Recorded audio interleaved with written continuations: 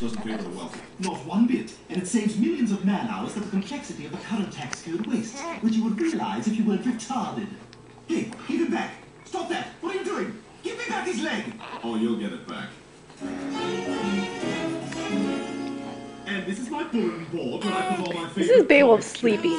See, see, look, here's, here's He's in a dream or something. See, something. Mrs. Lockhorn is saying we're never going to another yard sale because because Mr. Lockhorn has clearly purchased a tuber.